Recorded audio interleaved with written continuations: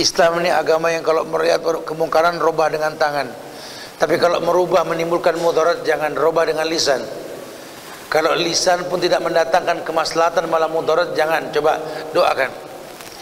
Yang perlu kita pahami merubah dan merubah itu adalah Allah urusannya. Ya, bukan kita yang merubah, tugas kita cuma melaksanakan.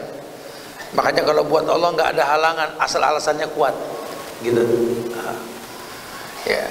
Salat yang kita lakukan tolong kita muhasabah diri.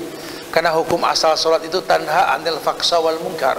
Si pelakunya tidak berbuat keji dan mungkar harusnya.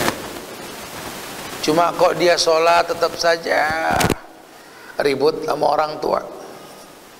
Sholat sama mertua enggak akur.